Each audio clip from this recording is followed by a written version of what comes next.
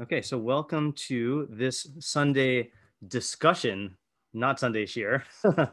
uh, the title is Midrashic Betrayal. Oops, sorry.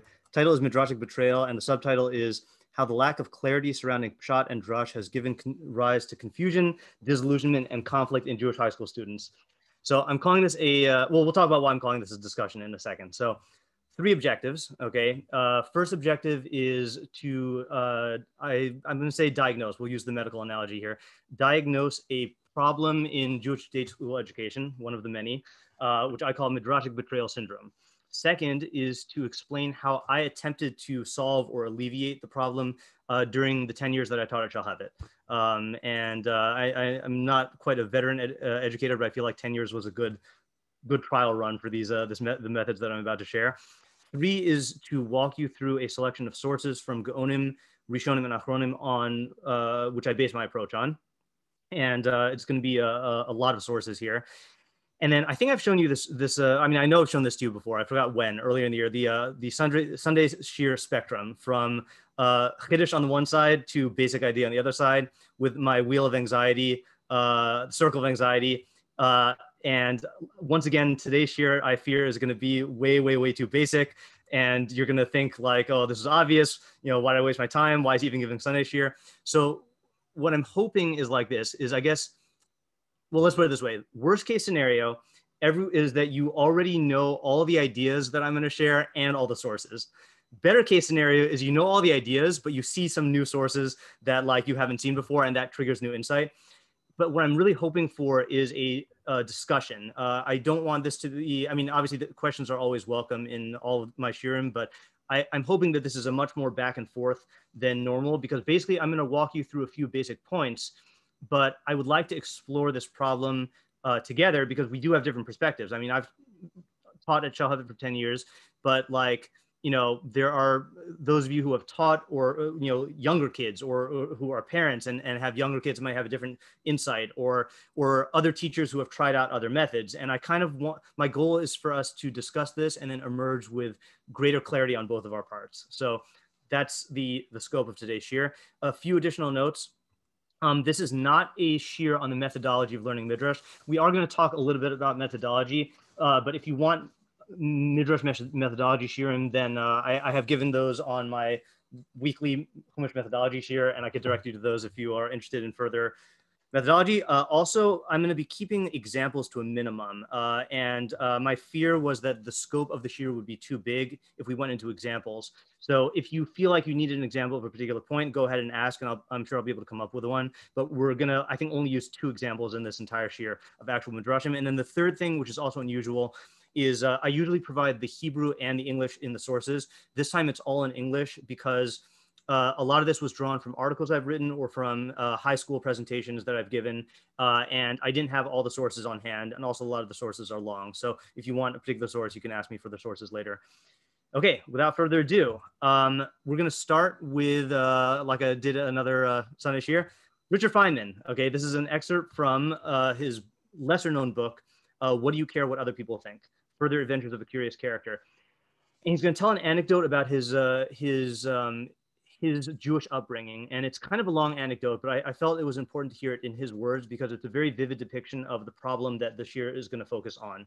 So he says. I had been brought up in the Jewish religion. My family went to the temple every Friday. Uh, I was sent to what he, we called Sunday school, and I even studied Hebrew for a while. But at the same time, my father was telling me about the world.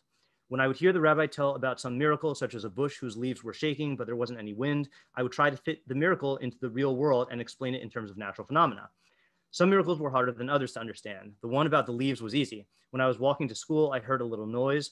Although the wind was hardly noticeable, the leaves of a bush were wiggling a little bit because they were in just the right position to make a kind of resonance. And I thought, aha, this is a good explanation for Elijah's vision of the quaking bush. But there were some miracles I never did figure out. For instance, there was a story in which Moshe throws down his staff and it turns into a snake. I couldn't figure out what the witnesses saw that made them think his staff was a snake. As an aside, uh, you know, it's, it's, interesting that he, I mean, it's, it's not surprising, but it is interesting that he took the approach that is taken by several of, of you know, the Mefarshim, such as the Ralbag, Abravanel sometimes, where, you know, where miracles are done through uh, harnessing a natural property and, and the, you know, the, less overt the violation of nature, uh, the better. And some Rishonim even take it to the point where uh, it is much more like what Feynman's saying, but that's not our focus. If I had thought back to when I was a much younger age, the Santa Claus story could have provided a clue for me, but it didn't hit me hard enough at the time to produce the possibility that I should doubt the truth of the stories that don't fit with nature. When I found out that Santa Claus wasn't real, I wasn't upset. Rather, I was relieved that there was a much simpler phenomenon to explain how so many children all over the world got presents on the same night. The story had been getting pretty complicated, it was getting out of hand. Santa Claus was a particular custom we celebrated in our family, and it wasn't very serious. But the miracles I was hearing about were connected with real things. There was the temple where people would go every week. There was the Sunday school where rabbis taught children about miracles. It was much more of a dramatic thing. Santa Claus didn't involve big institutions like the temple, which I knew were real. So all the time I was going to the Sunday school, I was believing everything and having trouble putting it together. But of course, ultimately it had to come to a crisis sooner or later. The actual crisis came when I was 11 or 12. The rabbi was telling us a story about the Spanish Inquisition in which the Jews suffered terrible tortures. He told us about a particular individual whose name was Ruth, exactly what she was supposed to have done, what the arguments were, were, in her favor and against her, the whole thing as if it had been documented by a court reporter. And I was just an innocent kid listening to all this stuff and believing it was a true commentary because the rabbi had never indicated otherwise. At the end, the rabbi described how Ruth was dying in prison. And she thought while she was dying, blah, blah, blah. That was a shock to me. After the lesson was over, I went up to him and said, How did they know what she thought when she was dying? He says, Well, of course, in order to explain more vividly how the Jews suffered, we made up the story of Ruth. It wasn't a real individual. That was too much for me. I felt terribly deceived. I wanted the straight story, not fixed up by someone else, so that I could decide for myself what it meant. But it was difficult for me to argue with adults. All I could do was get tears in my eyes. I started to cry. I was so upset. He said, What's the matter? I tried to explain. I've been listening to all these stories. This is a critical point now. I've been listening to all these stories, and now I don't know of all the things you told me which were true and which were not true. I don't know what to do with everything I've learned. I was trying to explain that I was losing everything at the moment because I was no longer sure of the data, so to speak. Here, I've been struggling to understand all these miracles, and now, well, it solved a lot of miracles, all right, but I was unhappy. The rabbi said, If it's so traumatic for you, why do you come to Sunday school? Uh, my, because my parents make me. I never talked to my parents about it, and I never found out whether the rabbi communicated with them or not. But my parents never made me go again, uh, and it was just before I was supposed to get confirmed as a believer. Anyway, that crisis resolved my difficulty rather rapidly in favor of the theory that all the miracles were stories made up to help people understand things more vividly, even if they conflicted with natural phenomena. But I thought nature itself was so interesting that I didn't want it distorted like that, and so I gradually came to disbelieve the whole religion. And that is what Feynman identifies as the turning point, you know, or the uh, the initial turning point. So uh, this is what I am calling uh, midrashic betrayal syndrome. Uh, is I, uh, if I had to define it, the detrimental effects of being raised and educated without a clear distinction between pshat and drush, which again is not exactly the terms that Feynman used, but I think that's what corresponds here. Um, so I've over the years collected uh, a list of the, I guess the the uh, the stories or the, the, the interpretations that, the, that students on the whole tend to think are actually stated in the Tanakh, but are actually from Midrashim. Okay, so just to give you an example of what we're talking about here. Um, oh, sorry, hold on just one second here. Oh, uh, just go on. I think I just, yeah. Okay, so for example, um, that Yam Suf parted when Nachshon walked into the water until it was up to his nose. Uh, Avram Avinu was thrown into a fiery furnace and was miraculously saved. Uh, Moshe Rabbeinu was 18 feet tall, or 20, you know, whatever, uh, 10 almost. Rivka was three years old when she married Yitzchak. Hashem literally looked into the Torah to create the world. The arm of Bas Paro miraculously stretched to reach baby Moshe. Uh, the mock of Tzfardea uh, involved a large frog splitting into many smaller frogs. Esav tried to bite Yaakov's neck, but Yaakov's neck turned into marble. Uh, Moshe killed the Mitzri taskmaster by saying Hashem's name. The man tasted like whatever you wanted, and, and more. So, you know, when I go through these, then uh, there's always, you know, audible gasps when certain students realize that things that they thought were actually in the psukim weren't actually there.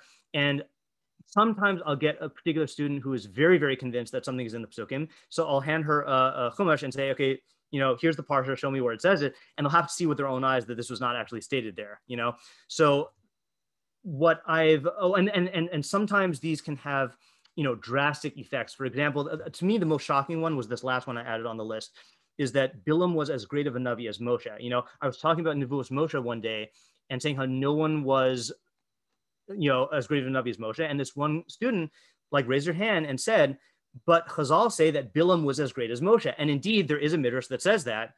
But you know, to not differentiate between that midrash and the actual psukim at the end of uh, Sefer Devarim, you know, is is an example of this uh, phenomenon that we're talking about here.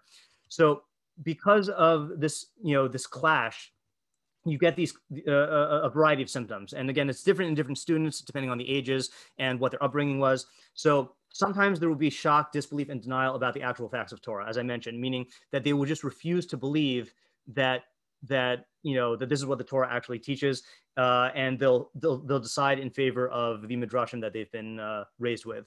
Um, many times there are feelings of anger, resentment, and disillusionment at their parents, at their teachers, uh, at Judaism as a whole for feeding them lies, and that's really what the Feynman story was uh, intended to illustrate. And you know, I'll have students who will just like say overtly, like, "You mean we we were raised to believe in lies?" And no amount of me explaining what midrashim actually are or or how you're supposed to approach midrashim. You know i can give all these explanations but the feeling of i was lied to is is is what overshadows everything you know? The idea that that um or, or like feynman said the fact that i was not taught that there is a difference between pshat and drush you know? And and now i just don't know what to believe uh, similarly uh, there is oftentimes a paralysis a methodological confusion or frustration about how to go about their own learning. Like, what do I do now? Like, what do I trust? How do I approach these midrashim? How do I approach the pshat? What am I supposed to do? Um, uh, sometimes it will lead to uh, unwarranted mistrust or rejection of other aspects of Judaism, meaning that because of these feelings of, of betrayal in regards to, like, say, uh, Chumash, they will lack trust in halacha or in Torah Sheba'al Peh, and it'll uh, express itself that way. And then worst case scenario is that this adds to the rationalization for going off the derech. Um, you know, Feynman, I don't, I don't really know obviously what he was like as a kid, but you know, you can have a case maybe where this actually causes an intellectual change that causes you to go off the derech, but in most cases, it's just going to contribute to whatever other reasons they're already rationalizing going off the derech. So this is a big problem, and uh, you know, I'm sure if we ask other Jewish educators what the biggest problems are in Jewish education. I don't know if they would say this. I just encountered this again and again and again, and I think it's at the root of a lot of difficulties, and that's why I want to address it today. So, first thing we need to do uh, is define pshat and drush. and uh, I'm sure there are many valid theories. Um, I'm going to share with you my theory, but we're going to start off with some incorrect definitions. So, whenever I ask my students, "What's the definition of pshat, there are always two answers that they give uh, that uh, I think are incorrect. The first one is the simple meaning of the pasuk. And the reason why I think that this is incorrect is that sometimes pshat is not simple. In fact, in many cases, it's not simple. Either it is complex, uh, it's multifaceted, it's deep. For example, Shema Yisrael Hashem Hashem Echad. Okay, understanding what we mean by Hashem Echad is not a simple idea. Um, you know, you can read it simplistically, but but the simplistic reading is not the same thing as the pshat. Uh, similarly, when people say pshat is the literal meaning of the pasuk, that's also not true. Uh, uh sometimes the pshat is not the literal meaning. I mean, you know, eye for an eye uh, the pshat is not that you poke someone's eye out, or when it says Hashem ish ochlahu, Hashem is a consuming fire. The pshat is not that God is literally fire, you know. Um, so it's not the literal meaning of the pasuk. Um, and uh, similarly, when I ask them what drush is, there's always one answer that they give, and it's I, I I've only heard this one answer. Drush is the deeper meaning of the pasuk. Okay, uh, that's what they say. And the reason why that is inaccurate is that sometimes it's a deeper meaning of the pasuk, but in many cases, drush has absolutely nothing to do with the meaning of the pasuk, which is what I intend to show right now. Okay, so these are incorrect definitions. So I first have to like call out what incorrect definitions are to distance us from that. And then we go into, into what, what I think the correct definitions are. Now, th th these, this definition that I'm about to propose comes from many Mefarshim that I've learned. Uh, but if I had to pin it on one, it would be the Ibn Ezra. And he doesn't even use the terms pshat and drush. So I'm going to show you two sources from the Ibn Ezra and then back it up with uh, some other Rishonim here. So, um, I mean, actually, maybe I should ask. I mean, anyone want to try, if we're making this a discussion, uh, anyone want to take a stab at defining what pshat is? I really should have asked that before I, uh, I gave the, the incorrect definitions.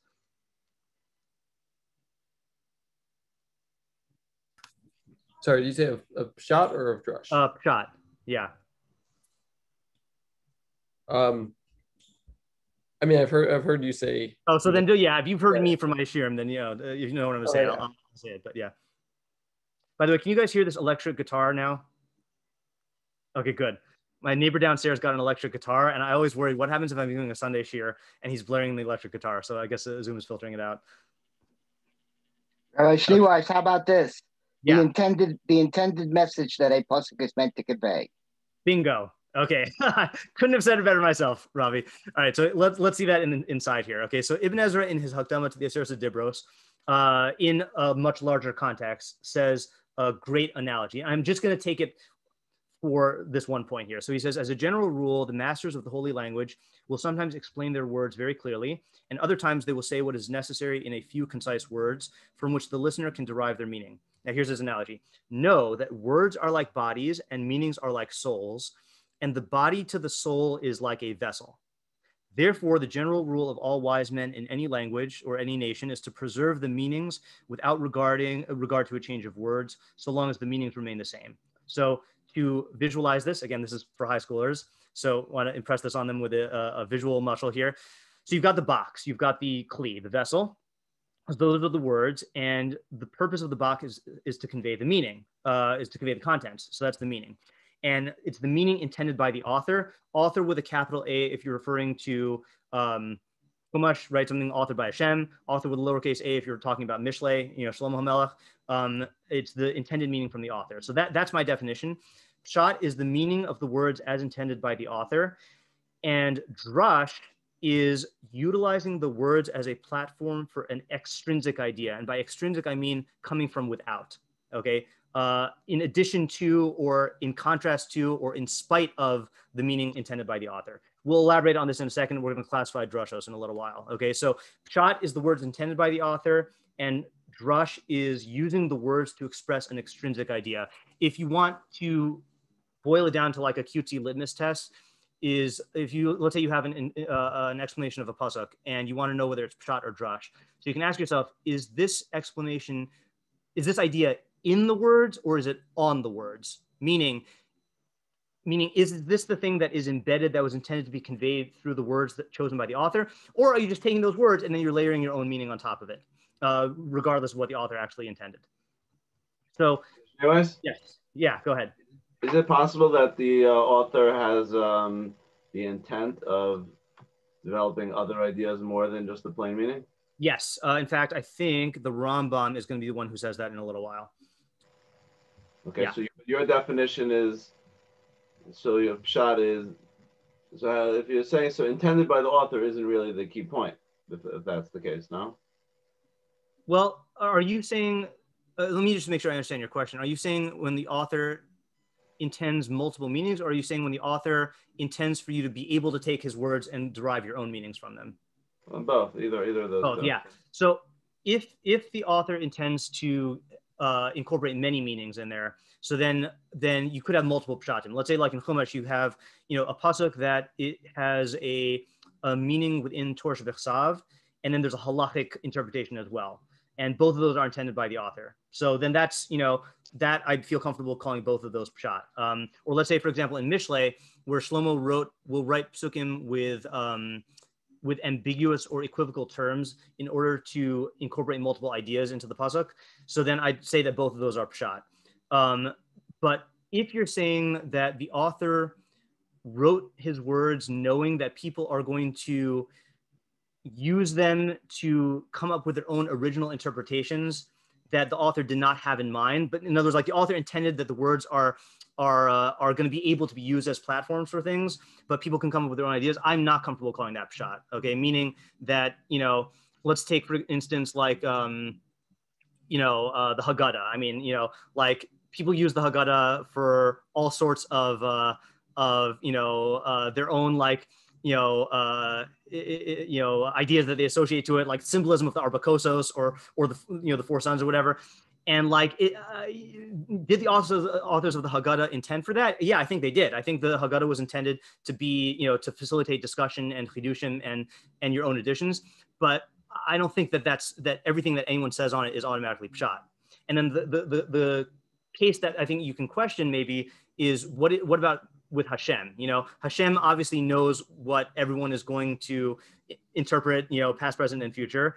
Uh, and he knew that Rabbi Akiva would darshan the crowns, you know, but I, I still am, uh, you know, I, I think so, if something is truly a, uh, and, and he wrote the Torah in a way that lends itself to drush, but I'm not comfortable saying that something, an original idea that someone comes up with um, on their own that was not intended by the author is uh, is pshat. I think that's stretching it too far.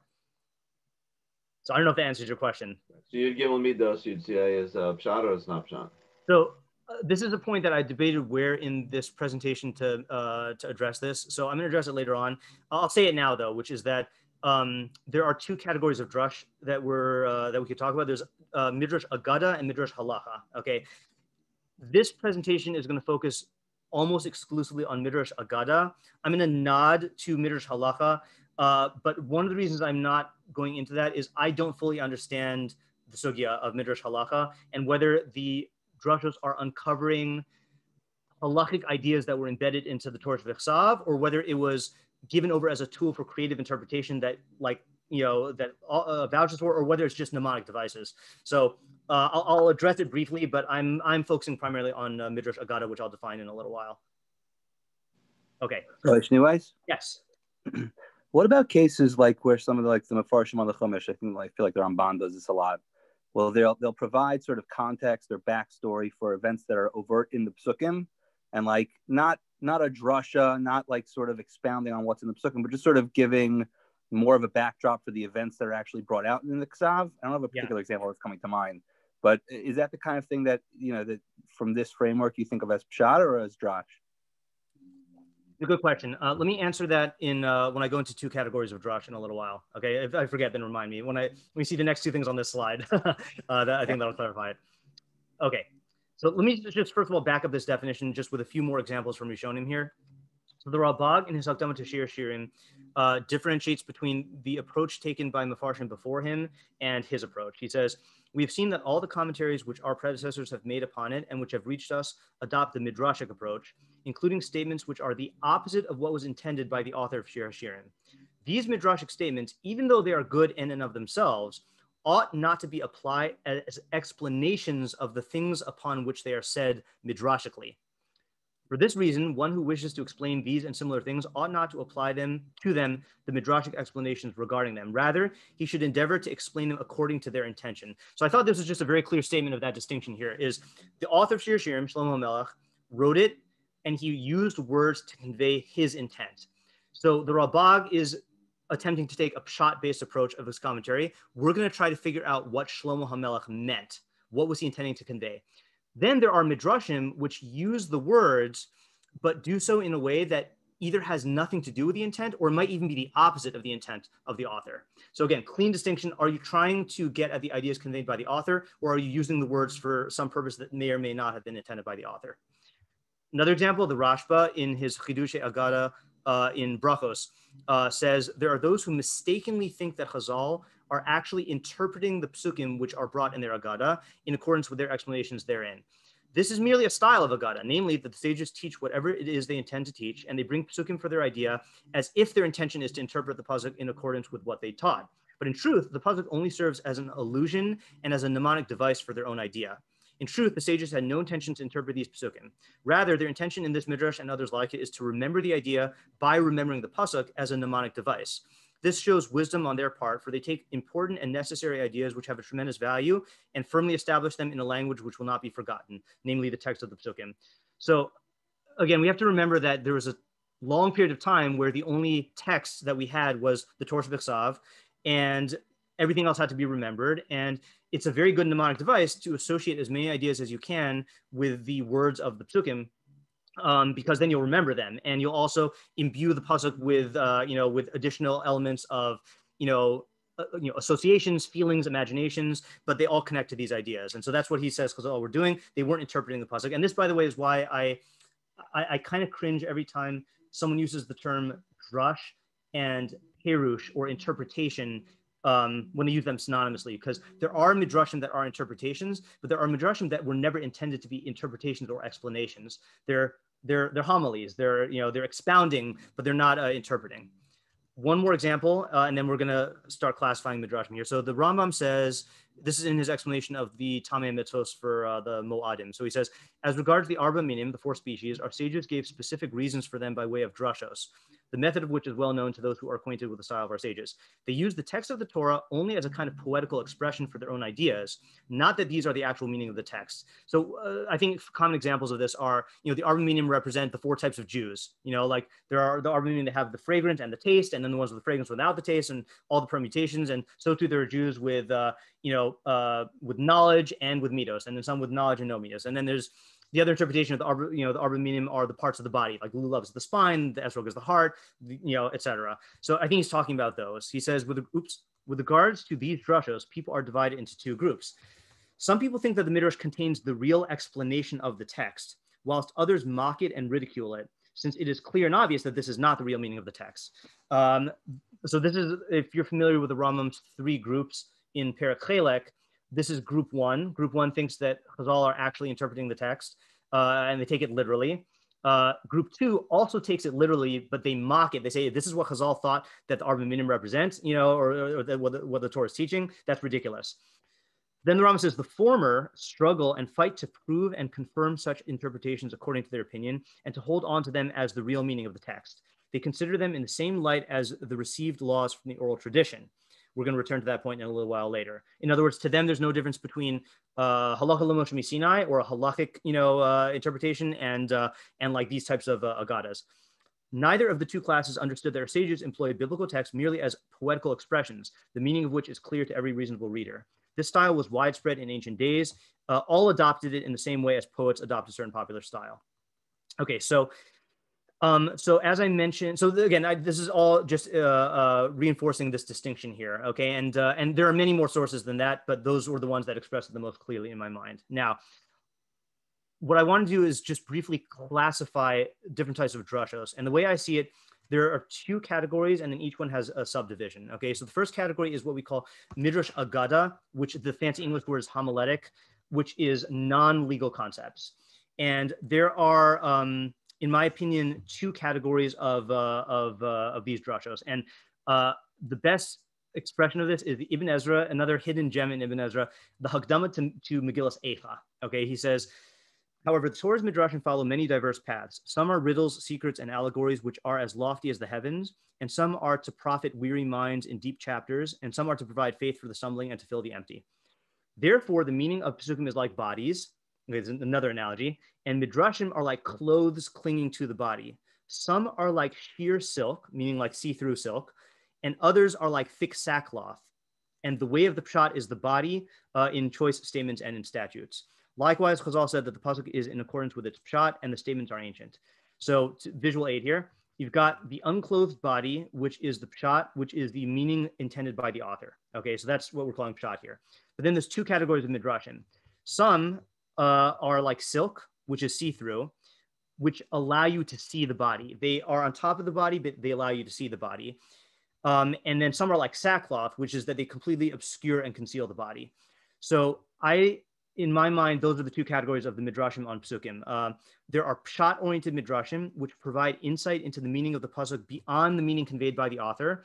And then there are non-pshat-oriented midrashim, which teach an idea that has absolutely nothing to do with the meaning of the pasuk. And uh, this is really what Moshe was asking about. And I'm going to go into this in a second. I just want to show you two examples of this. Um, and again, this is not a midrash methodology here in the sense of I'm not we're not going to delve into any particular midrash, but just two easy examples here. Okay, so let's take a pasuk.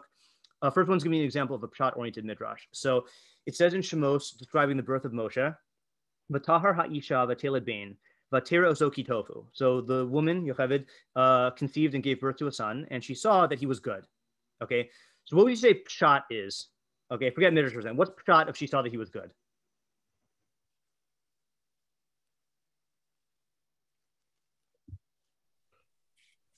Either that he was healthy or that she liked him or something. Yeah, right. Some some some uh, you know standard by which you measure goodness of babies, right? Healthy baby, well behaved, beautiful, you know, uh, beloved, something like that. Okay, so that's pshat. That is what the author uh, intended. Okay, but then you have this midrash, which is quoted by Rashi, uh, that says, "When Moshe was born, the entire house was filled uh, filled with light." Okay, so what's the meaning of the midrash? And again, I'm not going into this in, in, in depth, but just um, you know, clearly, okay. Well, first of all, where where does this midrash come from? Like, where does the author of the midrash get this from? That the house was filled with light.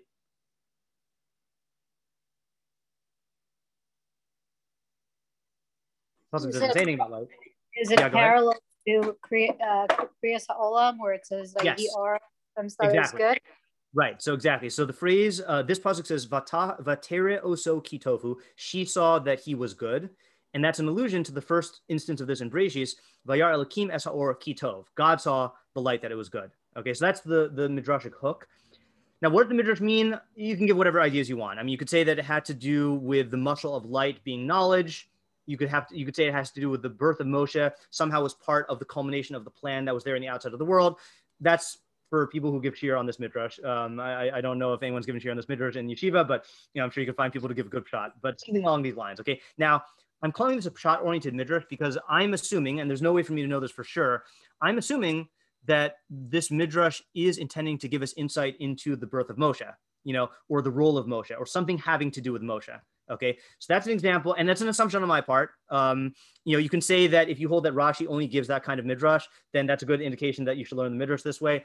But you know, there are certain midrashim that it's clear that they're trying to give insight into the psukim. Okay, contrast that with another one, and this is an example quoted by many, many uh, of the Mefarshim. Rambam quotes this.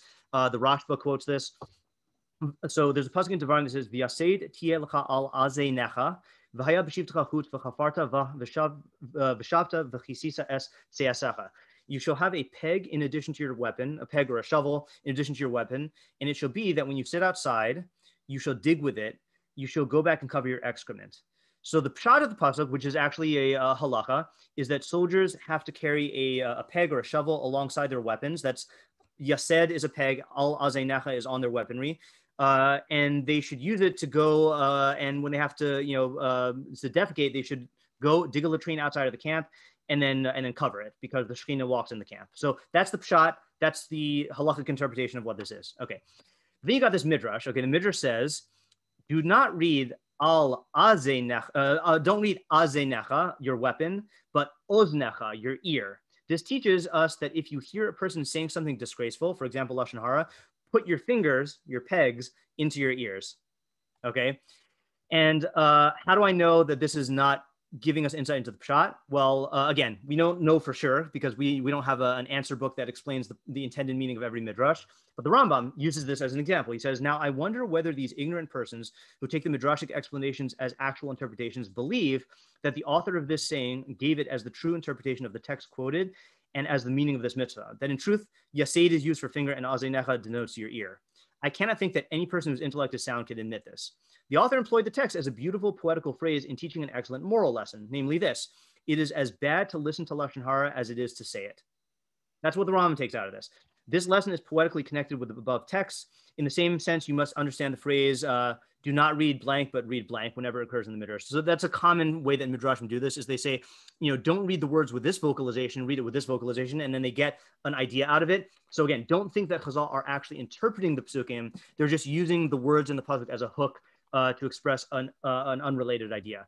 So what does this mean according to the Rambam? It means that it's as bad to listen to Lashon Hara as it is to say it.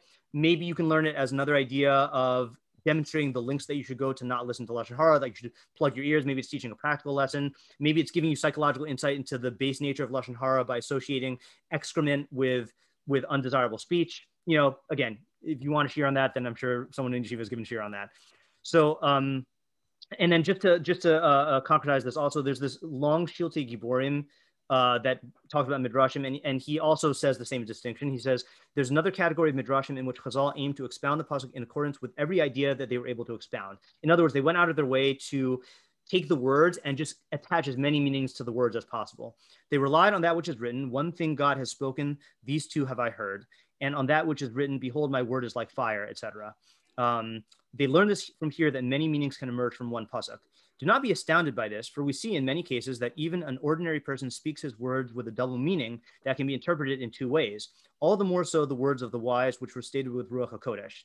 In this manner, Chazal expounds scripture in every manner that is possible to expound, but they said no pasuk can depart from its pshat, which is the root. Of all these midrashim which are expounded, now here's the Ibn Ezra's distinction, some of them are essential and close to the pshat, whereas others contain only a small illusion. Now he's going to give an example in one second, but this actually relates to what Rabbi Fader was asking, which is what if you wrote the words in a way that lend themselves to many uh, to many ideas? You know, so it's the Shilach I'm not sure which side of the fence to, or you know, which side to take on that. He's saying that Chachamim will write their words in a way where there can be multiple meanings. So that's like when I said Shlomo Melch writes his Mishle in uh, in sometimes convoluted ways to teach multiple ideas. Anything with Ruach HaKodesh, you're going to be even better at doing this. But sounds like Chazal went beyond that and just used the pasuk and just attached as many ideas to it as possible. You know, now did God intend for that? Yeah, you could say God intended for that because if He didn't, then He wouldn't encourage us to do this. But does that mean that every idea that Chazal attached to the pasuk is an idea that God wanted us to get out of the pasuk? I think not, and I'm going to support that later on with a bunch of sources. But um, but I just wanted to comment on on uh, on what Rabbi Fader said. So here's his example now. Uh, he says, You can see what was expounded by one of the sages in the first chapter of Taanis, for he said, Yaakov Avinu lomes, Yaakov Avinu didn't die. One of the other sages responded, Did the eulogist eulogize him in vain? Did the embalmers embalm him in vain? Did the gravediggers bury him in vain? So, kind of a sassy answer of like, what so you're saying, like he didn't die and they just embalmed him while he was alive? That's ridiculous. The first sage answered back, Mikra ani doresh. I'm just expounding on a verse. This means to say, I too know that he died, but my intention is to expound this verse in every manner that it is possible to expound.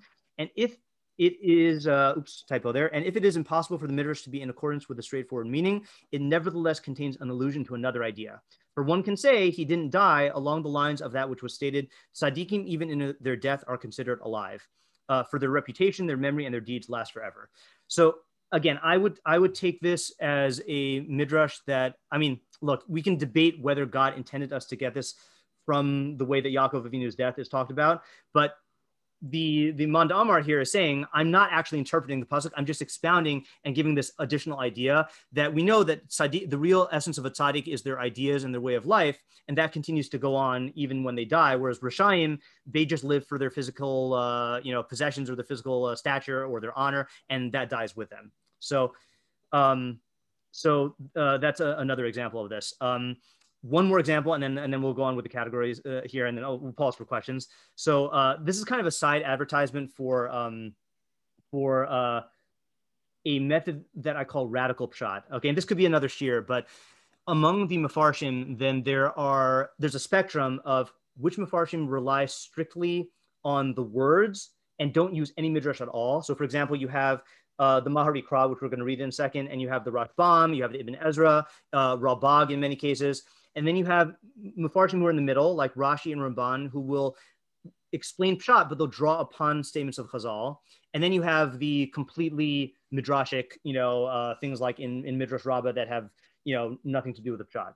So the Mahari Kra, this is one of the the most, you know, uh, explicit statements of, of the role of Midrash as he conceived of it, uh, or, the, or, that I've seen in, in the Mefarshim. You should know that when the prophecy was written, it was written complete with all its solutions and everything it needs so that future generations should not stumble in it.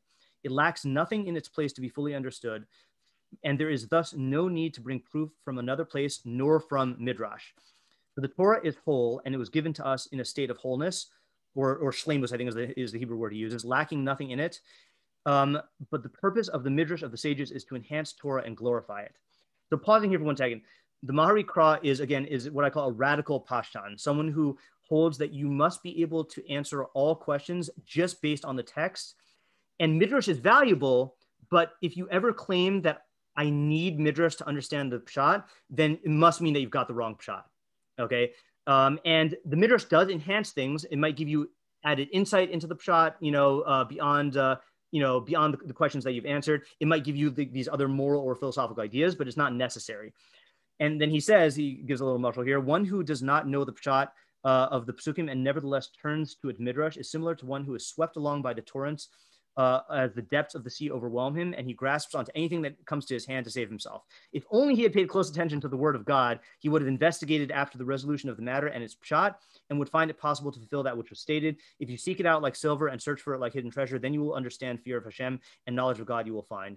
So his he's actually saying more here. Not only is midrash unnecessary to understand pshat, but if you attempt to get involved in midrash without understanding pshat, it could actually mislead you and take you away and endanger your understanding of the Torah. Um, okay, so those are the two categories here of of midrashe agada of non-legalistic uh, midrashim. And to go back now to address what what uh, what Rabbi Zucker was saying is that um, that uh, what about when when the mafarshim will like fill in background information uh, that um, is not stated openly in the psukim? You know what what you know uh, how would I classify that? So I would say that in in in uh, I mean again it's hard to work with without an example, but if I know what you're talking about, then uh, I would say that that's in pshat oriented uh, midrashim. So it is midrash in the sense that that it's not stated openly in the psukim, but they're putting together clues based on on uh, on you know textual implications or or, or hypotheses about the, the pasuk in order to give more information for understanding what God wanted to convey in the pasukim. Um, I don't know if that adequately answers your question, but that's uh, what I'd say. Relish yeah. I think so. Oh, Okay. sorry. No, go ahead, um, Moshe. You know, I, I guess what I'm just trying to, to work through is to what extent is that type of information necessary for learning the pshat of the psukim? Like in theory, could you learn the pshat without that? And if so, like does that take away from the idea that the pshat is just the pshat and the medrash is something Yeah. that, like you know not as necessary for Right. just learning the pshat? Yeah, so th- this is something that we've been exploring in our, our Chumash methodology here. That um, let's take for example, uh, two pshat-oriented mafarshim, um, Shadal and uh, and Shadal and let's say uh, Rambam. I know he's not; he doesn't have a Pirush on Torah. That's why I was hesitating. But so Rambam says that you know if there's anything in the Torah about chukim that we don't understand, uh, it's because we lost knowledge of the practices of the Ovdei Avodah Zarah. You know, and if we had full knowledge of the practices of the Ovdei Avodah Zarah, we would understand exactly what the Torah was getting at. You know, so the Ram and Rambam says that you know he read all the books in Arabic on on idolatry, and like that gave him tremendous insight into the chukim. You know, Shadal says the Torah stands alone, and you shouldn't need to make recourse to any other secular, uh, um, uh, you know, um, framework or, or, or other sorts of chachmos in order to understand what the pasuk is saying. You know, um, and so it seems to be even among people who are not taking a midrashic approach to the psukim, the question is like, like, are you, you know, are- are you just relying on the words, or are you like supplementing it with other information that you have that's rooted in the words, you know, but like could be taken from other sources. You know, like another example of this is like, you know, the Ralbag sometimes will explain things based on the style of writers in ancient times. Like that's his explanation for why, um, you know, uh, Vayakon, uh, not Vayakon Pekude.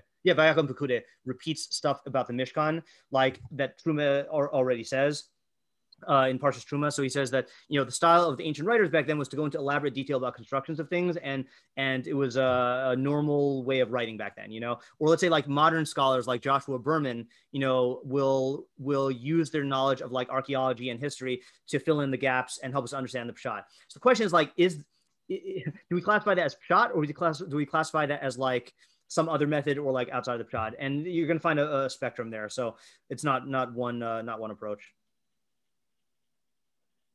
Uh, Leslie, you had a question or a comment?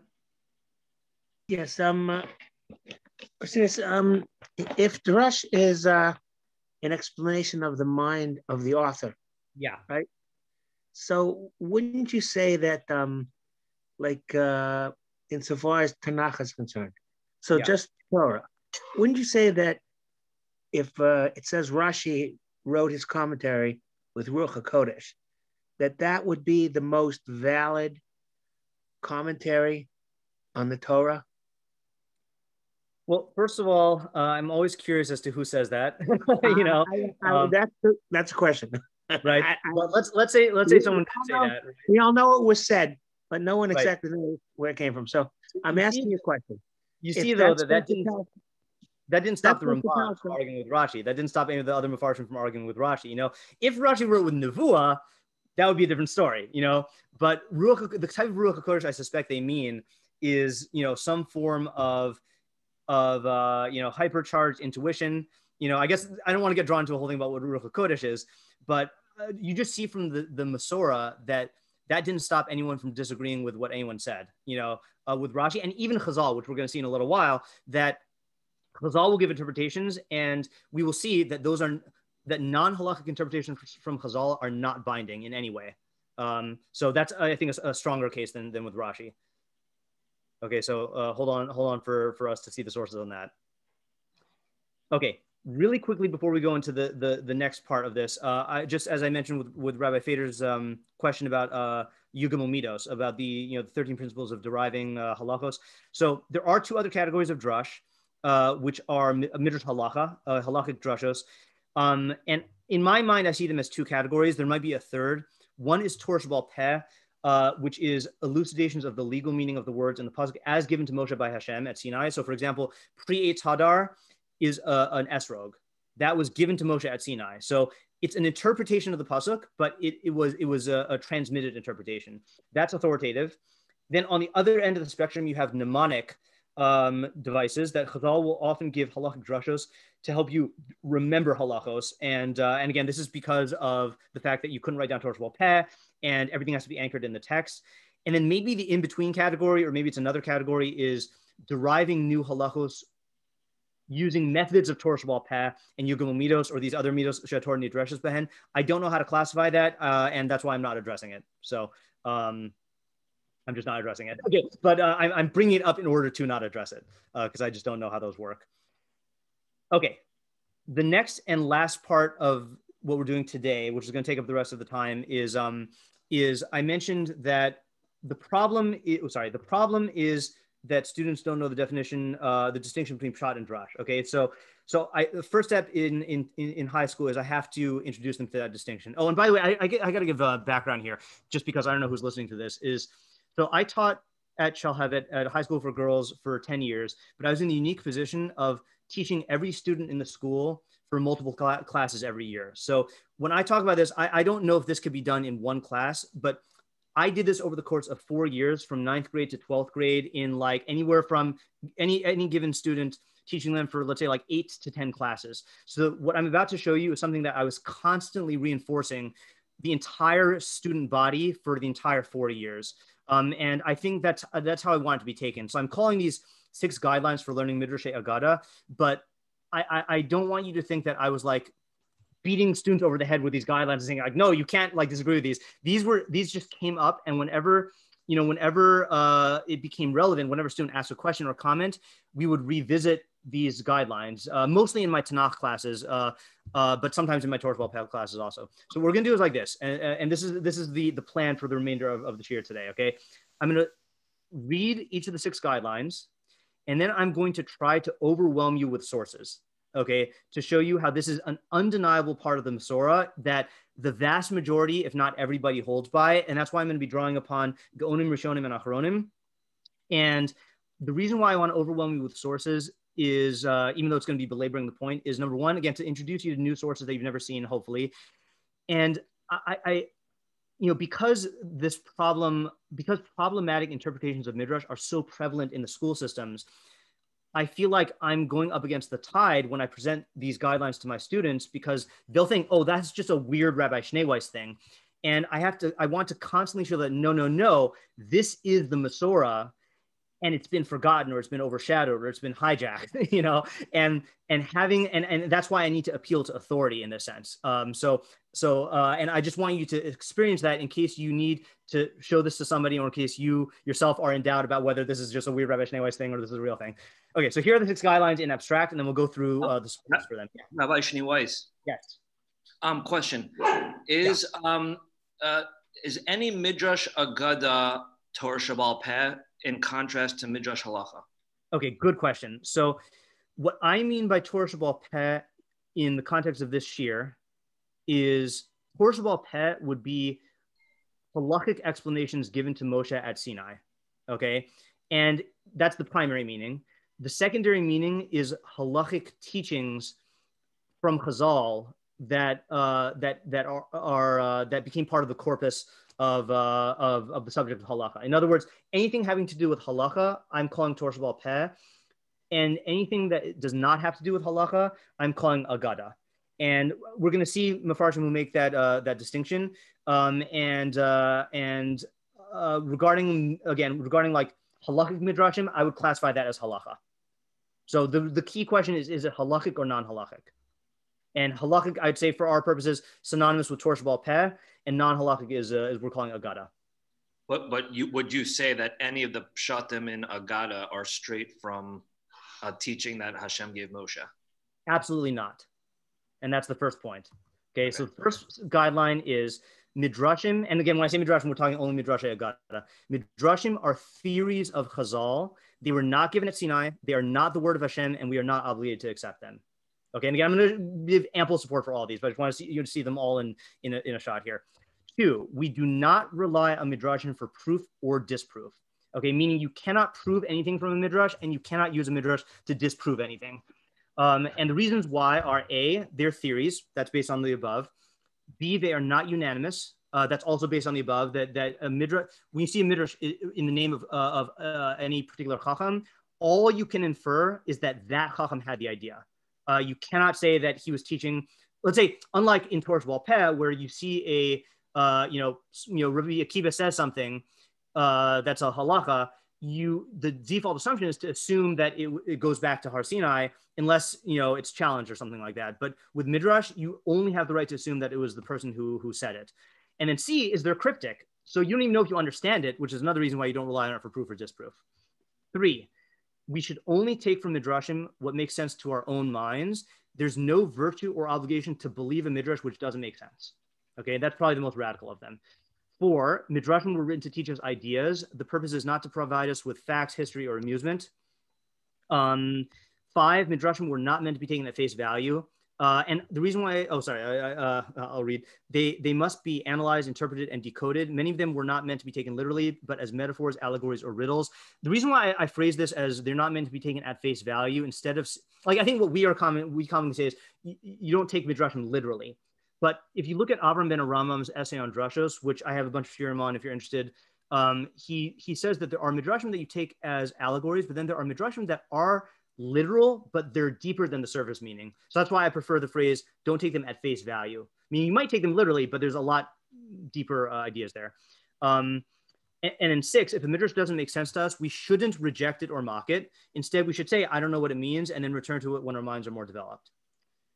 So let us go on a, uh, a source tour. Okay. And again, interrupt me at any point. A lot of these are going to be uh, overlapping here.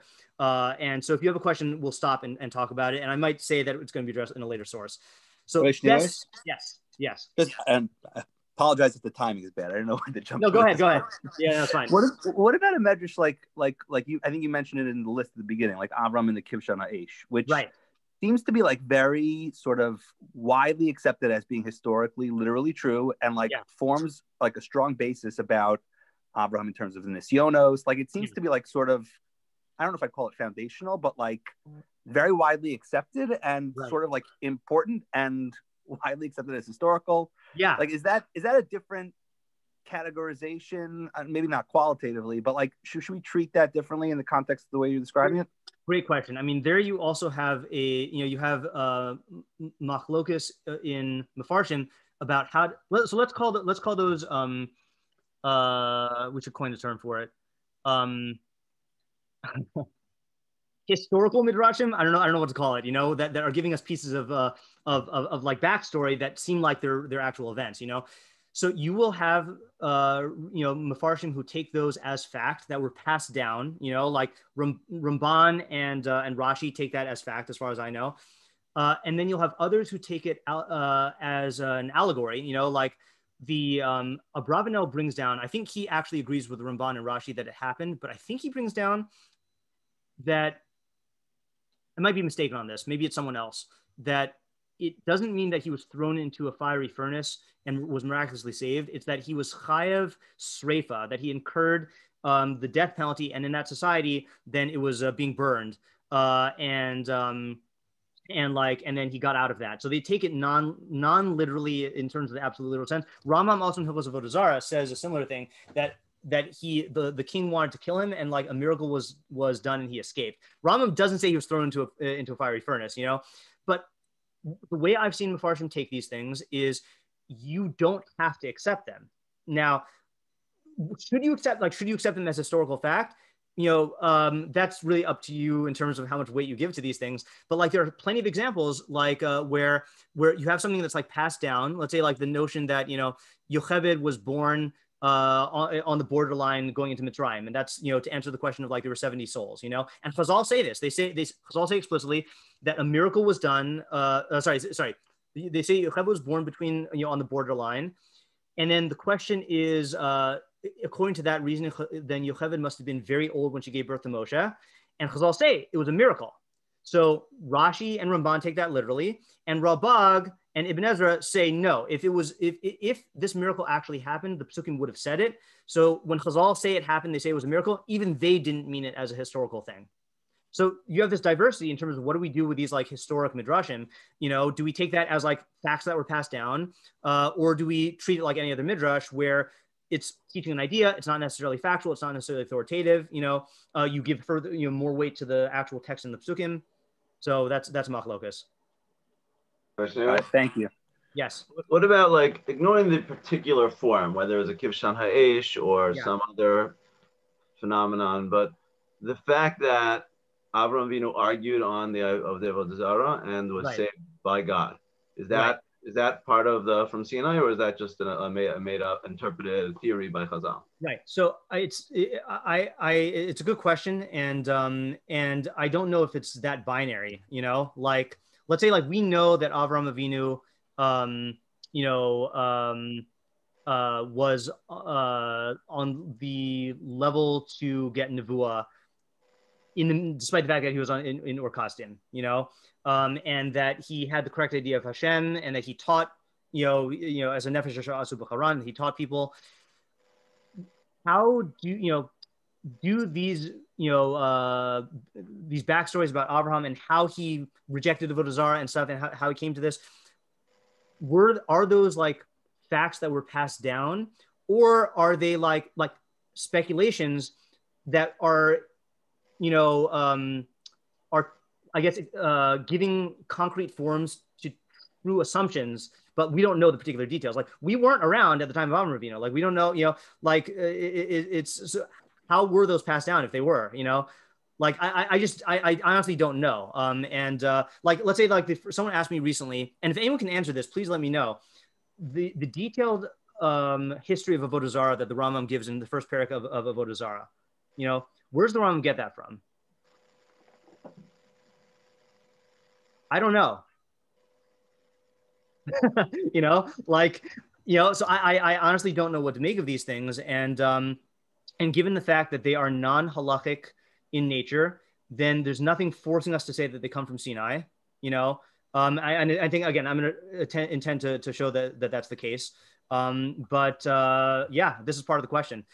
I should have said at the outset also, by the way, there's a lot of unanswered questions here. Part of this is just open up the sugya, but um, yeah, I don't know what to make of those. But you're suggesting that in, in number one, that Yeah. when Hashem told Moshe at Har Sinai about uh, Avram Avinu's life, there- he didn't tell him anything about any background, or there was no, that was not given Har Sinai. Correct. That's what I'm assuming here. And then I'm, but I'm also assuming though that the Jews in Mitzrayim, when they got to Mitzrayim from Yaakov Avinu, had knowledge of Avram Yitzchak and Yaakov, and like that became part of the legacy. And, it, and it's conceivable that they passed down certain things, and that those things continue to be passed down after Torah was given. You know, but I'm, I am saying that they're not from Sinai.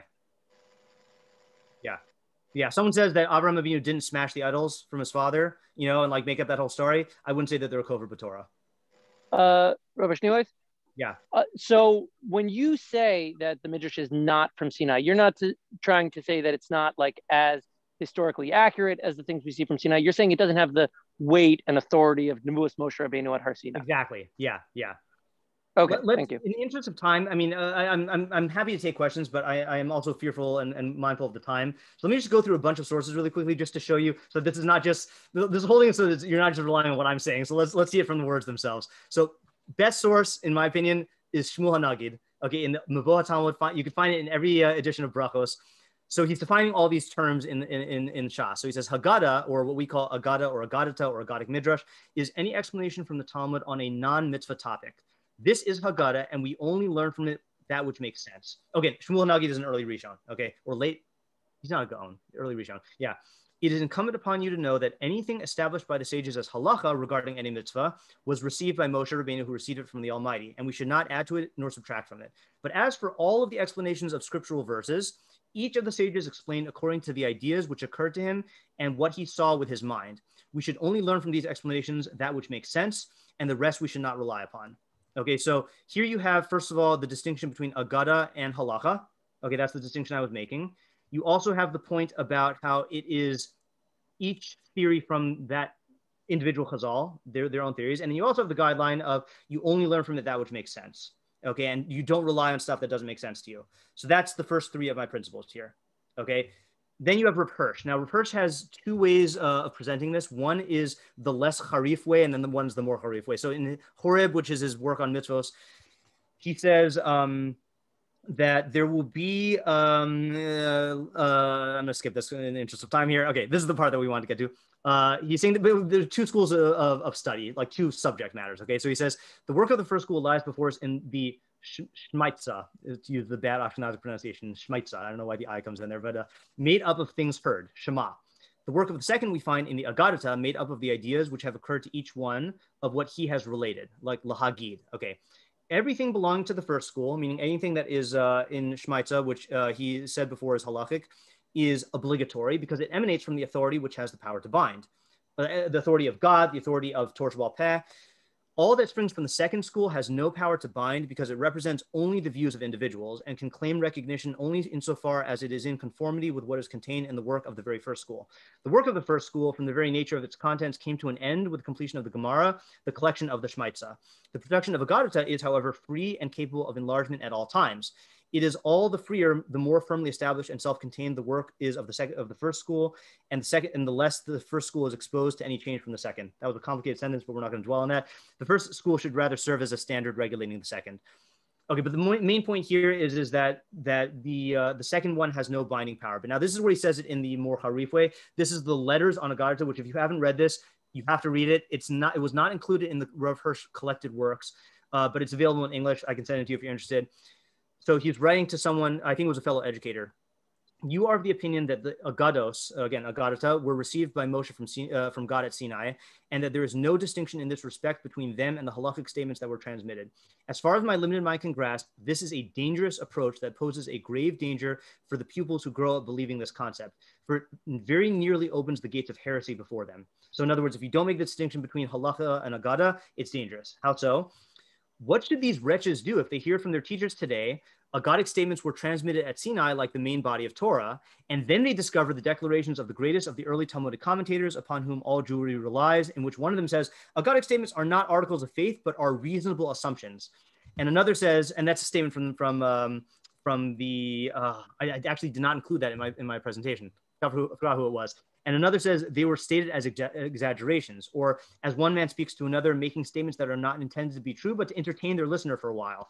Uh, or they narrated what they had dreamed, or learn from God only things that make sense, and so on. What are these wretches to do when they read these and similar declarations about statements they were taught by their teachers to believe came from Sinai with no difference between them and the main body of Torah? So this was the Feynman problem: is that if you're not taught to differentiate between halacha and agada, and then you find statements like this that oh you don't have to believe agada and like oh it's just exaggerations and stuff. So now what do you do? Like if it's all one type of content then you're not going to take halacha seriously either.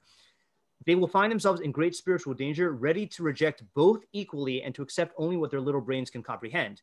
Now he makes an extreme statement which i don't know if he's being hyperbolic because this is too extreme for me. It would be better for them to not study torah and mitzvos in depth and simply to keep the mitzvos by rote rather than tread this dangerous path okay? Which is why it is in my humble opinion it is my humble opinion that we are not to budge from the road of life shown to us by our rishonim when they made a major and intrinsic distinction between the statements made as transmissions from god to moshe and statements made as agada the former were transmitted from master to disciple and their original source is a human ear hearing from the mouth of moshe who heard it at sinai. The latter though transmitted from master to disciple for many, Agadic statements are introduced by a disciple in the name of his master, and sometimes even in the name of the master's master, have their origin in what the originating scholar stated as his own opinion in accord with his broad understanding of Tanakh and the ways of the world, or as statements of Musar and fear of God to attract his audience to Torah and mitzvos. So again, very clear from Rav that these are individual theories of Chazal. They have no uh, binding authority. Next source, and we're going to go through a couple of short ones now. this is from the Chavos Yair, an Achron. Once we know that a matter is not a practical halacha, without a doubt, it is not relevant to say that it is a, re- a received tradition. Again, that's the litmus test. Is it halacha? Then it's possible that it was received. Again, again, depending on whether it's midrabanan, deraisa. But if it's not halacha, it, you don't say that it's a received tradition. Um, so again, it's theories of chazal not received. Uh, says that which was said by way of drash and asmachta was not received from Sinai. For sometimes Chazal mentioned by way of mnemonic device and asmachta, and we are not obligated to believe that the pshat of the pasuk and its true interpretation are such, meaning it was not not received from Sinai. Um, again, theories of Chazal. Uh, Saadia Gaon says, uh, so this is a quote in the Otzar HaGaonim, uh, we don't rely on, nor do we bring proof from any Divrei Agada, nor do we raise objections based on Divrei Agada. So again, we don't try to prove or disprove anything from Agada. Rav custodian chronicler of the Masorah, says these statements, which are expounded from Psukim and are called Midrash and Agada, are theories. Some of them are true in a literal sense, but many of them are not. Therefore, we don't rely on Divrei Agada. The valid ones are those which are supported by rationality and scripture. There's no end or limit to Agados, meaning that it's not like we received a certain you know uh, uh, set amount. So here he's really commenting on principles one, two, three, and five. Okay, all in one. Um, Shmuel ben Chofni Gaon, another one of the Gaon. This one's quoted by the Radak. I think we don't have this sefer from Shmuel ben Chofni. Uh, this is the explanation of Shmuel ben Chofni, who said that even though the implications of the statements of Chazal and the Gemara are true, this is talking about Shmuel, uh, um, the resurrection of Shmuel by the the uh, the Balas Ov.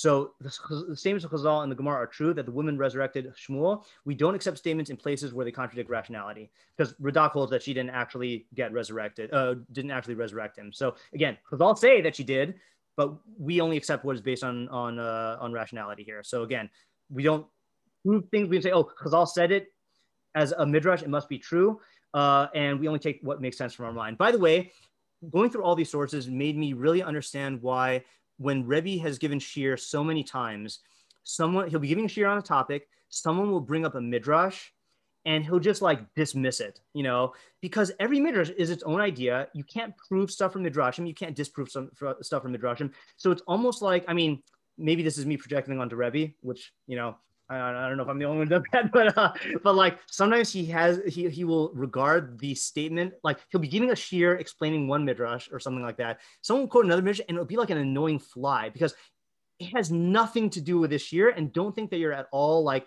adding anything by it or like disproving anything. It's each each midrash has its own theory. It would be like you know like if if um like if you treated all shiurim given by all people as one body of evidence and like like you know rabbi fader giving shiur and then you're like oh i heard a shiur once that says something different. Haha. Ha. like that disproves you. No it doesn't disprove you. People give different shirim you know? Same thing here. Different midrashim have different authors and have different ideas.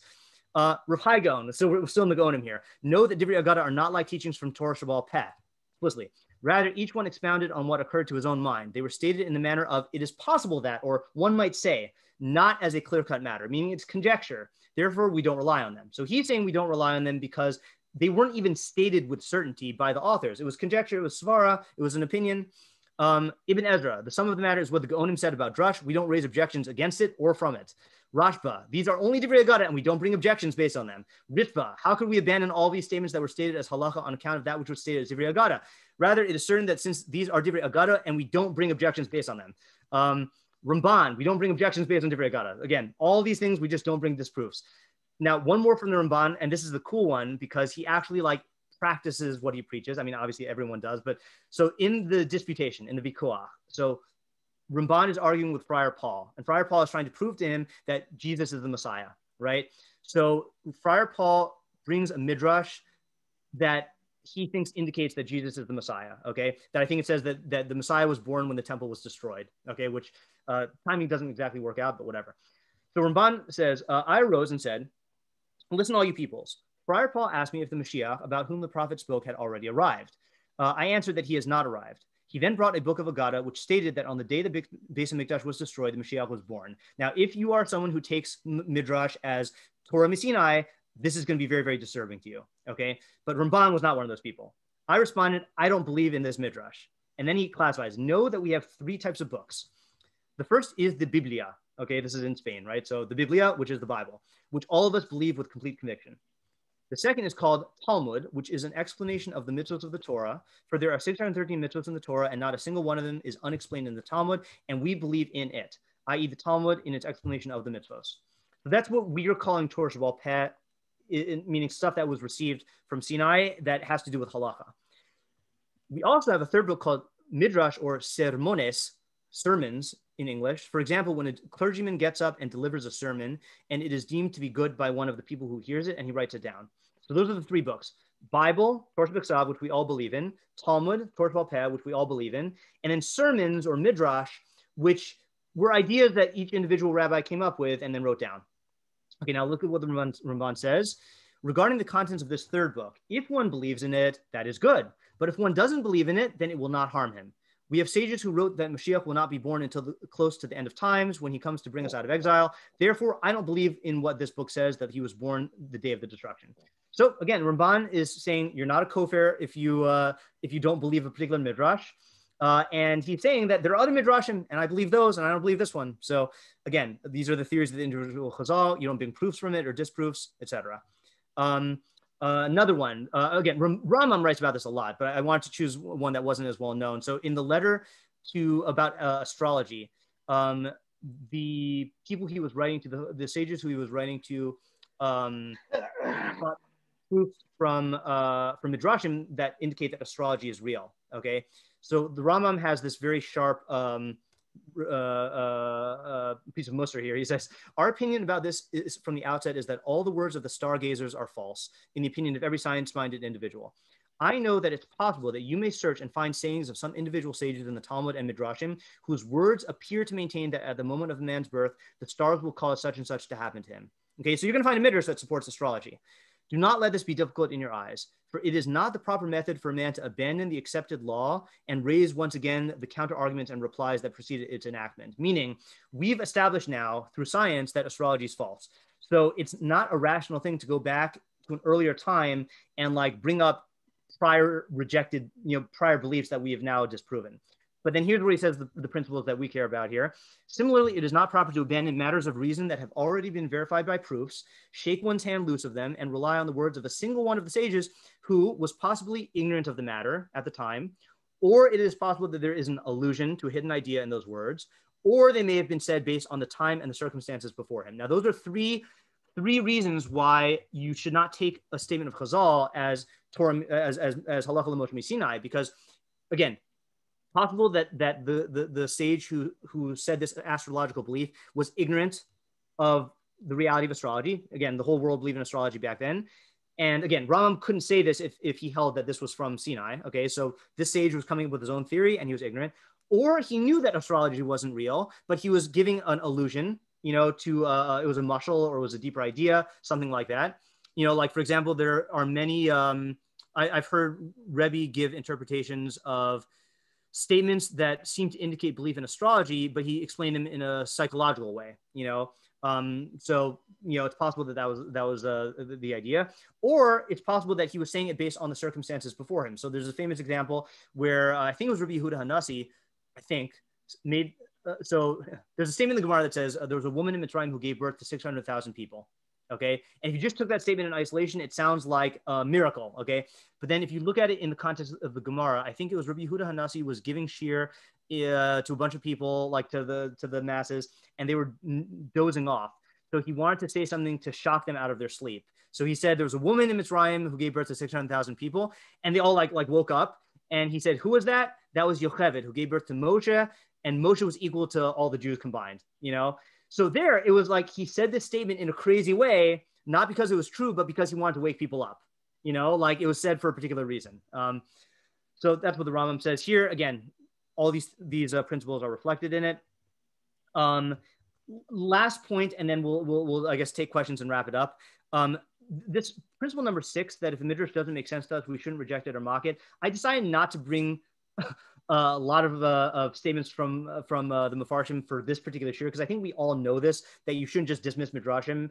But the, the, the, my favorite of those statements is the Rambam when he's describing the group that relates to midrashim properly. He says there is a third group. This group consists of people to whom the greatness of Chazal is clear. They recognize the superiority of Chazal's intelligence from their words, which point to exceedingly profound truths. The members of this group understand that Chazal clearly knew uh, oops, typo, knew the impossibility of that which is impossible and the necessity of that which is necessarily true. They know that Chazal did not speak nonsense and that it is clear to them that the words of Chazal contain both a surface level meaning and a hidden meaning. Thus, whenever Chazal spoke of things that seem impossible, they were employing the style of riddle and parable, um, which is the method of the truly great thinkers. For example, the greatest of our wise men began his book by saying, to understand an analogy and a metaphor, the words of the wise and their riddles. Again, that's saying Chazal were trying to teach ideas. They're not to be meant to be taken at face value, and that you shouldn't reject it. You should try to understand it, and if you can't, then uh, you know, leave it, come back to it. No obligation to accept it uh, if it doesn't make sense. And uh, that is, uh, you know, that's the the takeaway message here. So uh, just to wrap it up, uh, and I, I tried to find a nicer word than reprogramming, but it really is reprogramming. It's trying to replace the programming from their elementary school um, through these guidelines. And I wanted to give a sense of how how it was this how would this look like in the class. So the way it would look like is we would go over these principles when they came up, but but I would often just say when a student would ask a question, that's just a midrash, and I uh, you know and what I wanted to convey to my students was what, what could I mean when I say that's just a midrash? Number one, it's a theory, it's not a fact, and it's not the word of Hashem. That's the clear distinction. Two, we don't bring midrash in for proof or disproof. Three, that doesn't make sense to me, so I'm not going to accept it. Sometimes that's what I, I, would say to like reject a crazy sounding midrash. Four, we need to figure out what idea the midrash is teaching us, not just quote the midrash verbatim without understanding. If you're just quoting the midrash, that's not how, how Chazal intended midrashim to be used. We have to understand that's a midrash. We have to understand it. Five, that midrash isn't meant to be taken at face value or it's not meant to be taken literally. Six, we might not be able to grasp the meaning of the midrash now, but maybe one day we'll be on the level to understand. And what I try to do, and I did not, I'm not doing this in this uh, shiur, but but in high school, you know, when a student would come, would, would bring a midrash into, let's say, a, a chumash shiur that I gave, and I most of my chumash shiur focus on pshat, we would save the midrashim for the end of the unit, and I would try to figure to find mafarshim on the midrash so I could walk them through what it looks like to learn a midrash inside because you know people ask like what is the correct derech halimud to learn midrashim? And the answer is we don't know it but the best we can do is learn you know the rashba on midrashim and the meiri and the maharsha and the Torah Temimah and learn from the the the great bali masora who did know how to learn midrash and then develop an intuition from midrash from them to the point where we could do it on our own. And so i i don't my hopes my hope is not that that a high school student could develop that in high school because I, I I'm still working to develop that now. But I feel like the more examples of good midrash interpretation we show them, the more they'll get into their mind, like the you know get a, a sense of what midrashim should be like, and uh, and a combination of those two things, a combination of making a clear demarcation between midrash and pshat, and then constantly reinforcing these guidelines, I think will allow students to uh, not fall into the uh, the Feynman uh, midrashic betrayal trap. So um, takeaways from this, and I'll take questions uh, afterwards. Takeaways are uh, that I want everyone to, to have is just the basic distinction between pshat being the intended meaning of the author and midrash being taking the words of the author and utilizing them to express an, another idea. Sometimes an idea that gives you insight into the pshat, or it could be an idea that has nothing to do with the pshat, and that's in midrash agada. And then these six uh, these six guidelines, which I hope I've shown you. Again, I'm not quoting every single person, but I hope I've shown you enough sources to convince you that like, yeah, if we don't take midrashim for, uh, if we don't, uh, what do you call it, rely on them for proof, there are ample Rishonim, Gaonim, and, and who hold that, you know, and like they're not from Sinai. Yeah, there's ample sort of support for that, and uh, and and that's the method. And there are a lot of uh, lot of questions that are unanswered. Again, like I think the questions raised here about historic midrashim are valid question of like, what do you do with you when you have something like, um, you know, something that is not exactly halachic, but is also not exactly, uh, uh, you know, uh, like a drush on a pasuk. For example, Rav Simlai, right, is the only source, as far as I know, of the notion that there's 613 mitzvos, right? And you have people like the Rambam who take that at face value, you know, that he meant there are exactly 613 you know, and then you have people who hold, like Ibn Ezra and the Ralbag, who hold that no, that's just a midrash, you know, and that there are not 613, there are more, or there are less, or there are, we don't know how many there are, or there's not a concept of a distinct number. And then you have people like the Ramban who who express both opinions and say that maybe this was just Rav Simlai's opinion, you know, and this is not a thing, you know. Now you go to any Jew and you say like, 613 mitzvos is this a unanimous belief in judaism most of them you'll they'll say yes you know but like in reality it's not a unanimous thing you know uh, it, it's Rav Simlai's statement and like And if you look at that statement in context, you see that right afterwards it says that you know David Melch came along and reduced them to uh, 11, I think it was. Then someone else came along and reduced it. Like, you know, it's just a mistake to treat. Here, someone is unmuted, but or whatever. Um, it- it's just a uh, there's so many statements that have crept in that we take as halacha Moshe Sinai or Torah Shabbal Peh that really should be classified as agaritas. And yeah, that raises uncomfortable questions uh, about how widely accepted they are. But I think that it's better to be faced with those questions and like, you know, uh, uh, than, than to, to misclassify things. Um, so that, that's, that's the shiur. If there are any questions, then I'll take them.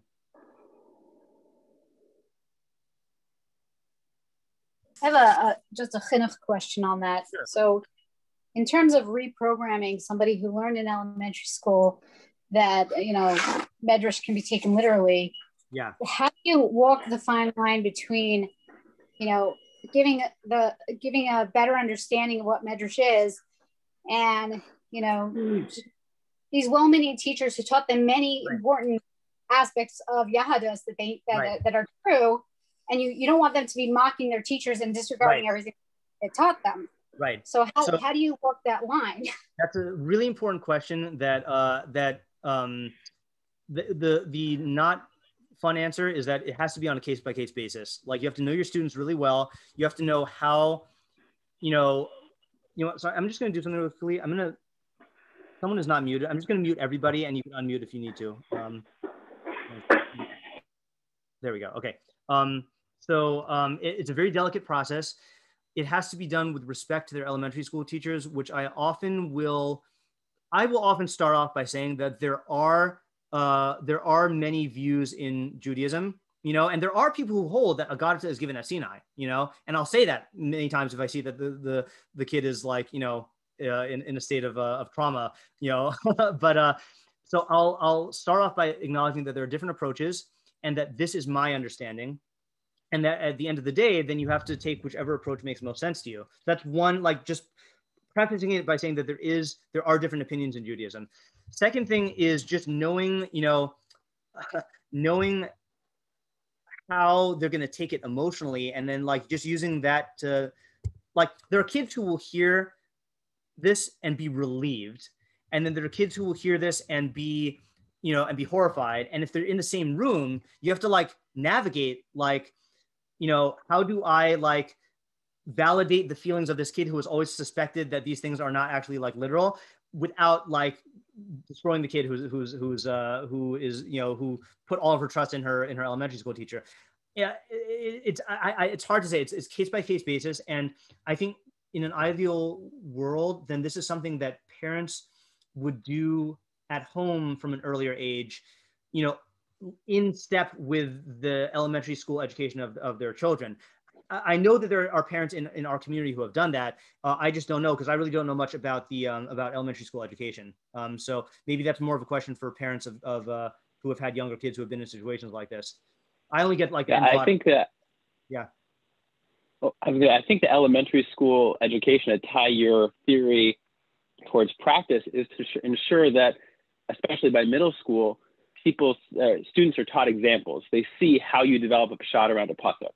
Then you see how, like in Megillah Esther, sometimes from Midrash, you have background information that helps you understand Peshat. Like Vashti was a, uh, you know, from royalty, Achashverosh was not. So that starts to help you understand some of the tension. And then you show other examples of Midrashim that teach other abstract ideas and develop those in their full fruition. And I think even as early as middle school, if you can teach students those examples, they come up with the foundation that you're describing, and then they can then relate to the different aspects of Torah. So I think it's absolutely uh, feasible based on your Yeah. framework. That's that's that's a that's a good um a good uh, answer. And I you know I'm really bad at knowing where students come from to came to our high school from. Like I I I always forget who comes from which school.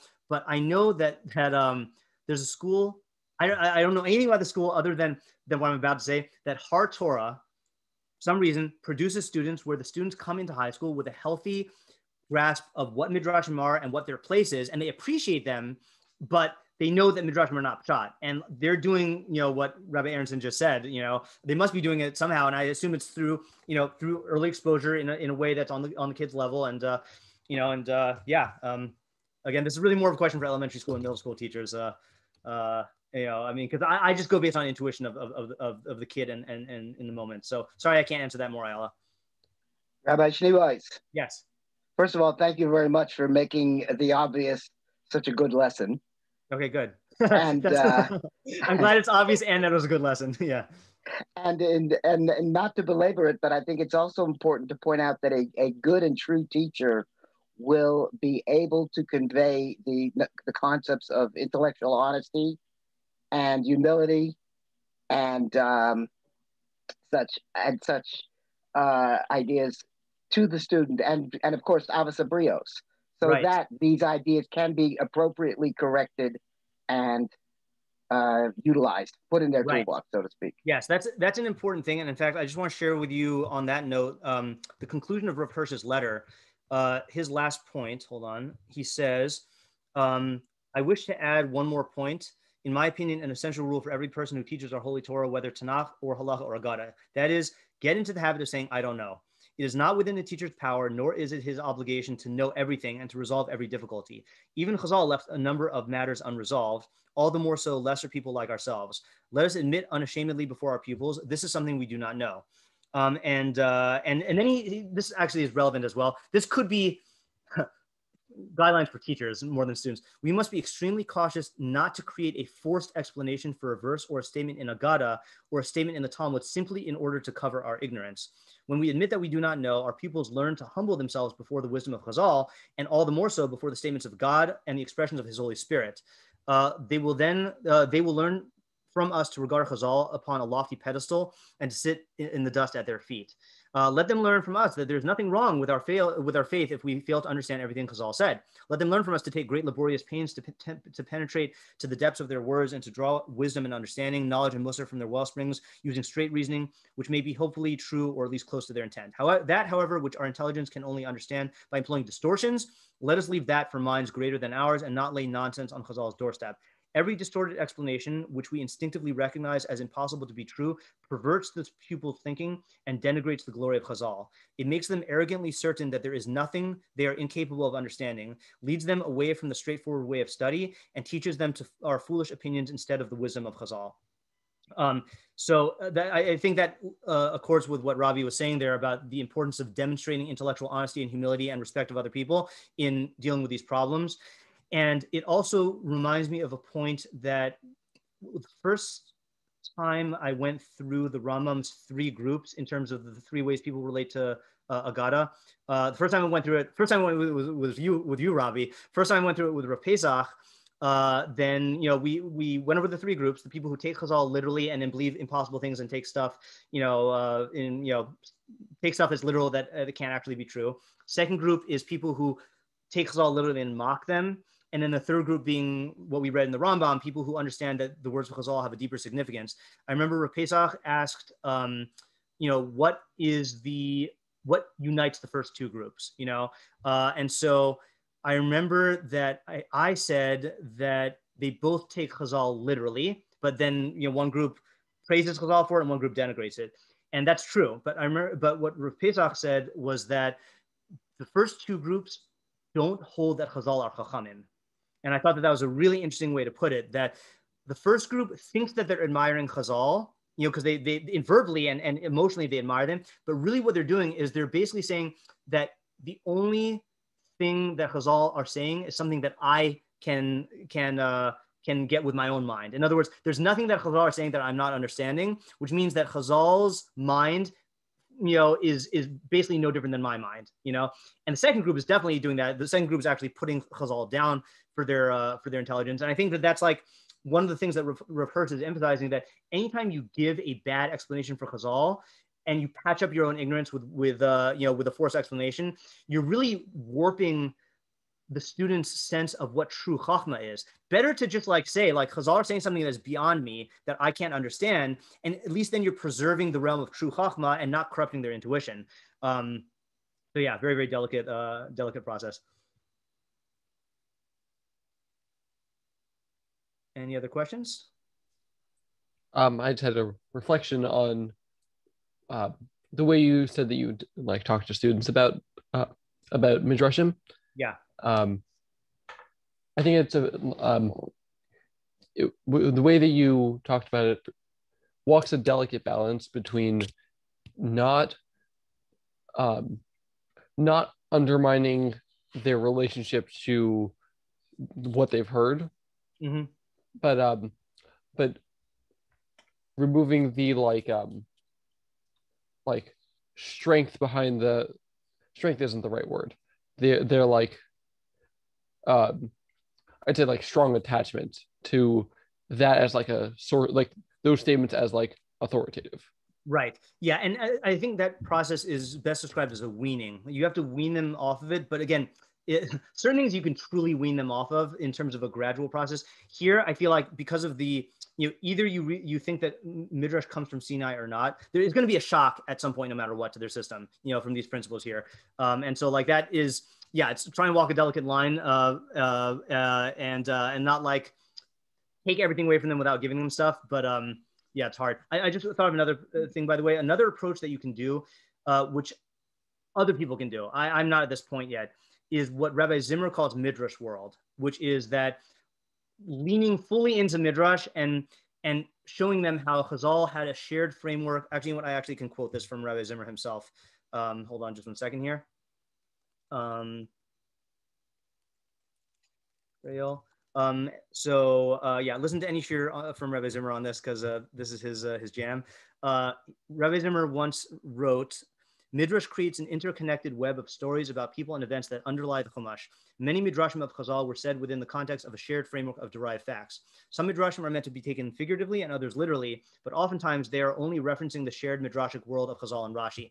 And um, and what Rabbi Zimmer does is he he fully fleshes out that midrash world and then teaches midrash through that. And uh, and if I have the ability to do that, that would be a path that would be much easier for students to tread because it would be taking the way that they relate to midrashim and then furthering it to the point where it is led to maturity as opposed to like drawing the sharp demarcation that I do. Um, I, I still take my approach, not only because I can't do his approach, but at this point, but also I, I think because I'm more attracted to Pshat than Midrash, then this approach suits me better. But that would be an ideal way to uh, to do that is like fully lean into Midrash, but then mature it at each level as they grow older. You know, they start with little Midrash says, and then they start getting ideas like Rabbi Aronson was saying, and then they, they get to this idea of like, oh, it's it's Midrash world, you know, and then they're ready for Rabbi Zimmer. Well, on that point, uh, could you argue that, like in that in that model, Rabbi Zimmer is suggesting is it, Yeah. it's a smooth transition, but maybe part of the disillusionment is coming because you're being so strong of pushing them and saying Midrash is, you know, Yeah. So th- that that's possible, but um, I feel like it's not. Uh, so th- this is something that I feel like parents are not aware of so much now. Uh, uh, at least I've gotten the sense they're going to find this out through the internet, you know. And the way that the the Rambam's three groups, the people on the internet are in group two. They are militant atheists who mock things that Chazal say, uh, and uh, and you know and deride it, and and also equate halacha with with Gemara and stuff like that and and yeah maybe if we were in a more insular society then uh, then it would you know then rabbi zimmer's approach would be objectively better.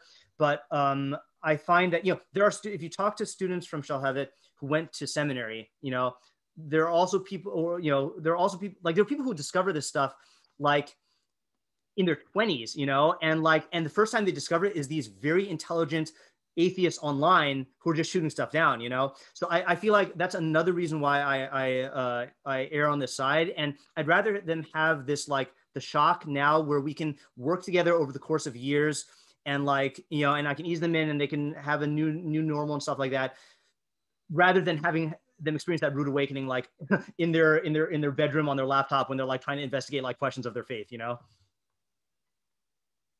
but yeah, you're right. Is that it might come from from the fact that I am, you know, giving this uh, this presentation in this way. And look, I mean, if they learn Mefarshim, like they'll see it in the Mefarshim. I mean, like the, the amount of times that the Rashbam or the Ibn Ezra or the Abravanel will say that's just a midrash. Like, how could these great people do that? I mean, you know, but that that's that's that's what these pshat oriented Mefarshim do. You know, and uh, yeah, That's a different question. Sure. Let's say um, maybe one could question is like a kid. Like I know they're different ages, but like Yeah. when a kid is in his earliest stages of learning Chumash, I don't know, Yeah. five years old, six years old, seven years old, you know, maybe this distinction of pshat and drash might, uh, you know, medrash might be a little beyond him, and maybe yeah. it would be appropriate to tell him a story where those lines aren't clear. And if you stick to only pshat, maybe the story or the interest he won't catch his interest in the same way. Right. Maybe from start off that way, but then maybe you don't have to wait till he's 13 years old to give him the right. break it to him. But slowly, as his mind develops, let him in on the fact that there are, there are differences yeah, right. So that that's definitely an approach that that uh, that I've heard that people take, and I've, I've heard people explicitly say, like when I've asked the question, why don't they focus more on the pshat in uh, in elementary school? I've heard educators say because you can't make it interesting enough to get them involved. And my gut reaction is always, well, then you're not doing it the right way. you know, like like there, there are there are people who can make you know you there are definitely people who can make the pshat interesting, you know, uh, without needing to bring in like Vashti's tail and stuff. You know, maybe not everyone can do that and maybe the people who can't do that do need to bring in midrash and then maybe you can introduce them to this distinction later on yeah it's definitely a viable approach uh, i guess i'm focusing more on like uh, the systemic uh, what could be done systemically you know and i think that this this i think the world would be better off if if across the board then students knew what was stated in the psukim and what was not you know? Um, at every age. at every age yeah. I, I, I do think that that's the best uh, the best thing. And look you can look, you can still read midrashim you know? Like even if you introduce the word midrash into a young kid's vocabulary like we'll look up and then we'll we'll read a midrash. Like even that can just create the space of having two you know two things. I used to have a thing that i wanted to do uh, i never actually did, did this of uh, of having a different, you know, hat when we're when I teach of having a midrash hat and like a pshat hat, you know, uh, just like a, a visuals thing, but like with a little kid that, you know, then, uh, you know, you, you, can you can make that distinction. You know, I don't think in other words, I don't think you have to give up on midrash entirely. Just making the distinction from an early age, I think, could be useful. Okay, if there are no more questions, then I guess we'll call it a uh, quits for today. And kids could definitely handle the, the distinction at a young yeah. age. They can just they they understand there's a difference between what's in a pasuk and what's in medrash. You can right. ex- make that explicit. Right truthfully, you know, I and Rabbi Weiss, you can tell me because you work with the younger age than I do. I wonder if there is even a matter of pride on the part of a kid to like know, like I think kids, like I've seen this in high schoolers that a, a, a kid who knows the pshat of the story, and like like like yeah, that's the pshat, like and that's a midrash. Like there's a certain pride in like mastering the pshat, you know, that maybe could be harnessed, uh, you know, for that. I don't know. Could be some kids are excited about that differentiation. Other yeah, kids yeah. just notice the differentiation. I mean, yeah. You know, depends on the kid. Yeah. Yep. As all true matters of chinuch do. Okay. Thank you for uh, for coming. And uh, if you have any questions uh, or want any of the uh, stuff I mentioned, like the Rav Hirsch letters, just uh, email me, uh, at uh, gmail.com, and I'll send you the uh, the PDF. It's a really, really worthwhile Rav Hirsch read. Have a good day, everybody. Thank you. Thank you. Thank you.